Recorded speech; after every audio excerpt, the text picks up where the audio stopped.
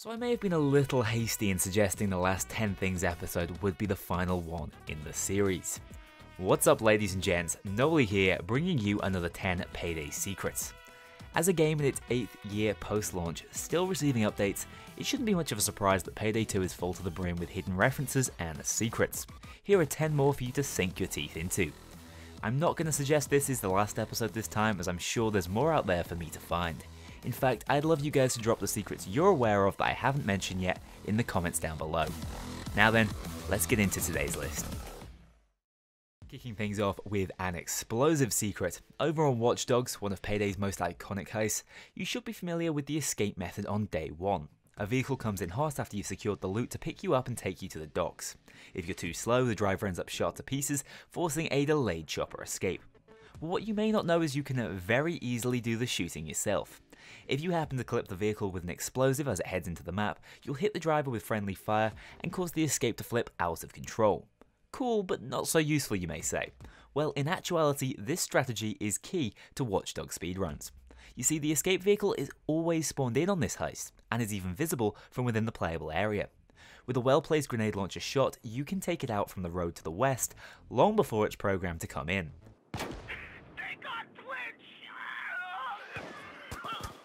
This will unrealistically cause the car flipping animation to play out, but most importantly, once you take down the car, the secondary escape will be programmed to enter its inbound countdown. This means you can potentially escape far faster than Overkill intended, speeding up your Watchdog's runs quite substantially in the process. Always nice when there's application for a secret. As with many games that have Steam as their primary platform, Payday 2 likes to tip its hat to Valve. Both GoBank and No Mercy are inspired by earlier Valve properties, Counter-Strike and Left 4 Dead respectively, and both maps are littered with easter eggs that go beyond their map layout. For example, Payday 2's Mercy Hospital has a familiar visitor found in the elevator. Bill from the first Left 4 Dead game can be found grumbling to himself in the lift into the heist. Please go outside and smoke. You can't smoke in here, sir. I remember when you could smoke in the operating room. Also on the rooftop of the building, it's possible to see these mirrored Valve logos, reminding us exactly from whom Overkill received their inspiration. Across many heists in the game, No Mercy included, it's also possible to have a surprise encounter with the Witch, and it seems like the patient is gradually mutating into a smoker. As the green flu is non-canon in Payday 2, we know the virus here isn't a zombifying one, so this is just a neat reminder of the heist roots. Over on GoBank, not only will Bain name drop Counter Strike at just about every opportunity, the vault we're entering is unique. Just like the turret over on the transport train heist, this is another Team Fortress 2 reference, with a similar design to the vault doors guarding the intelligence in TF2, if just a little more detailed for the realistic setting.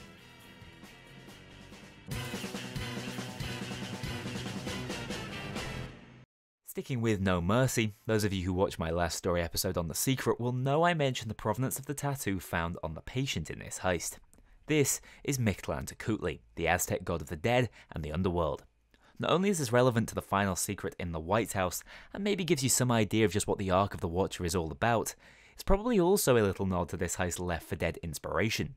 Seeing as this was originally intended to be Patient Zero carrying the green flu, the addition of this death god tips its hat to the source material, even if the virus in Payday 2 was retconned to fit into the narrative around Bain's imprisonment. Oh, and these guys found near the rear escape are clearly not doing great either. Here's a highly practical secret that I hope many of you will know already. But if you didn't, it might just save you some time and heartache if you want to emulate the ending scene in episode 13. You see, when you play Tony's piano to activate the secret, it will randomly generate 20 achievements out of a pool of 57 required to become worthy. If there's one in that pool you really don't want to have to approach, by simply playing this song on the piano again, you will reset the 20 you've been given, allowing you to circumvent those nasty ones while still getting the secret ending.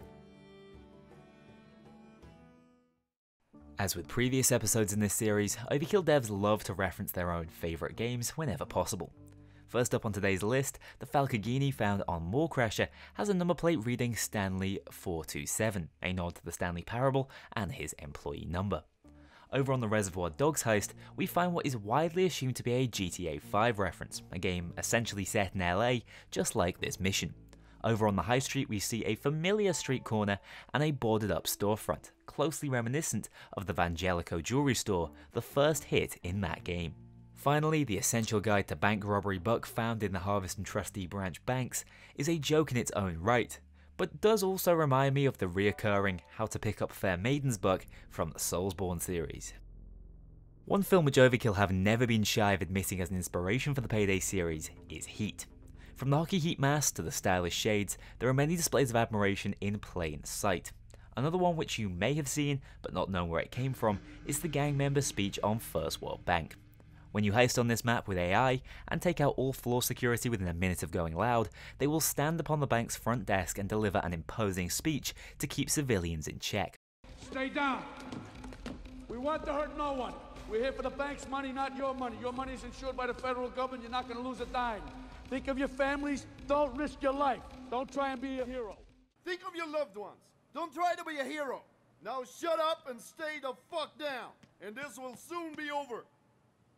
All the heisters have a recorded speech which follow the same lines as the infamous De Niro one. Even Jiro gives it a go.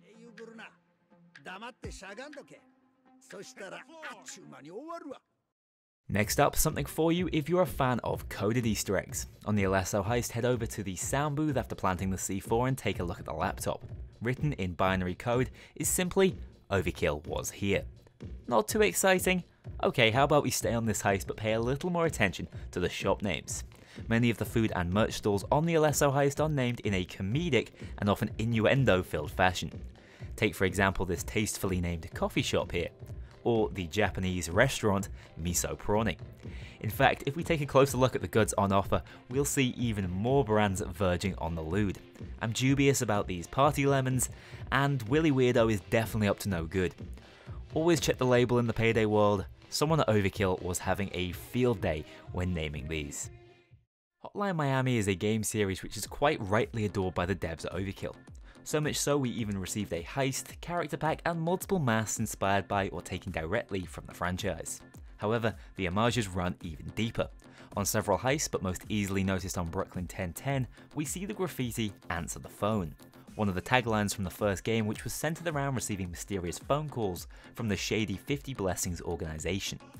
It goes further than that though, the phone number associated with these calls used to be found in-game in the form of the old Deathwish Pro Job achievement, listing the very same number which could be called and met with this creepy response. We are 50 blessings together. March. March into the future. You have reached a wrong number. Even beyond this, the unique civilian models on the second day of the heist appear to be Beard and the Janitors, reoccurring characters from Hotline Miami, and the rigged up hostage seems to be referencing a similar situation from the first game's mission, Tension.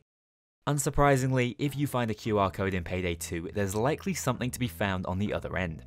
Back in the old starter safe house, every box came with a code, Secret Hunters rejoiced, expecting something that would assist in solving Cagliostro's secrets mentioned in the Guide of Bain. However, we were left wanting more after scanning to find it said no more than, I love secrets. No Wondervault for us sadly. But imagine our excitement when several years later we found more codes in game, this time on the yacht heist. Well, yet again, we'd be no closer to solving the secrets of Baldwin's Lament as it translated to Shazam Box Enterprise. The hexadecimal code underneath was also a dead end, spelling out fishy business. Back then, Overkill were really enjoying toying with us as the true secret was being worked on. Even so, these are fun, lesser known details hidden in game. As ever with these videos, I like to finish off with a poorly understood mechanic which can actually help with your gameplay. We've covered threat and suppression separately, and last time I walked you through damage granularity. This time I want to talk about a concept dubbed auto hit in the long guide. If you look back to the How Does Threat Work video, this mechanic works very similarly to suppression, wherein we discussed how shooting bullets in the proximity of a target can still be useful. As you can see, these shots seem to be hitting despite being clearly off target. This is because they fall within the degree of potential auto hit, a statistic running in the background which allows your bullets to deal damage even if they're not connecting. At the start of a heist, this chance is above 100%, meaning you can consistently be plainly missing, yet still taking out enemies. the chance will respond to how well you perform. If an actual or auto hit is landed, its occurrence rate will decrease for future shots. And if you miss or don't roll an auto hit, the chance of your next shot generating an auto hit will increase.